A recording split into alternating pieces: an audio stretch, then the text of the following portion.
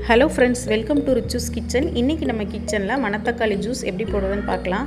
இந்த ஜூஸ் வந்து பார்த்திங்க அப்படின்னா வயிற்றுப்புண் வாய்ப்புண் ஒரு சில பேருக்கு மார்னிங் எழுந்திரிச்சோன்னே ரொம்ப கேராக இருக்கிற மாதிரி இருக்கும்.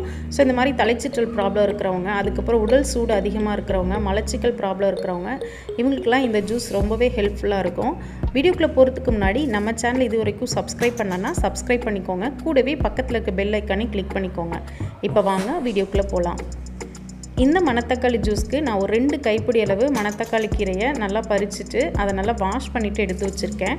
இது கூடவே ஒரு கால் மூடி துருவின தேங்காய் அதுக்கப்புறம் ஒரு பிஞ்ச் அளவு ஜீரகம் ஒரு பிஞ்ச் அளவு கல்லுப்பு எடுத்திருக்கேன். ஒரு சில பேர் ஸ்வீட் ஆட் பண்ணி பண்ணுவாங்க. ஸோ அந்த மாதிரி பண்ணி பண்ணீங்க அப்படின்னா நீங்கள் ஜீரகமும் உப்பும் எடுத்துகிட்டு நீங்கள் இது கூட ஸ்வீட் ஆட் பண்ணி பண்ணிக்கலாம். பட் நான் வந்து எப்போதும் இது மாதிரி தான் பண்ணுவேன். இப்போ இந்த கீரை தேங்காய் அதுக்கப்புறம் ஜீரகம் உப்பு எல்லாத்தையும் ஒரு மிக்சரில் ஆட் பண்ணிவிட்டு கொஞ்சமாக தண்ணி விட்டு நம்ம வந்து இதை நல்லா அடித்து எடுத்துக்கலாம். இந்த ஜூஸ் வந்து நீங்கள் வாரத்துக்கு ஒரு மூணு நாள் காலையில் வெறும் வயிற்றில் குடிச்சிங்க அப்படின்னா நல்லாவே ஒரு ரிசல்ட் கிடைக்கும். முக்கியமாக அல்சர் ப்ராப்ளம் இருக்கிறவங்க அடிக்கடி எடுத்துட்டிங்க அப்படின்னா நல்ல ஒரு ரிசல்ட் கிடைக்கும். நீங்கள் இதை குக் பண்ணி சாப்பிட்றத விட இந்த மாதிரி ஜூஸாக நம்ம எடுத்துக்கிறப்போ நல்ல ரிசல்ட் கிடைக்கும். இப்போ எல்லாத்தையும் நல்லா அடித்தாச்சு இதை வந்து இப்போ ஃபில்டர் பண்ணிக்கலாம்.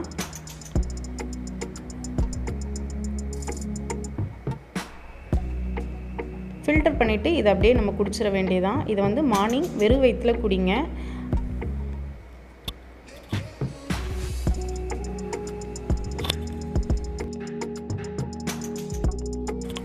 ஆல்ரெடி நம்ம சேனலில் நிறைய ஹெல்த்தி ரெசிபிஸ் அப்லோட் பண்ணியிருக்கோம். வேணுங்கிறவங்களுக்கு கீழே லிங்க் கொடுக்குறேன். செக் பண்ணிக்கோங்க.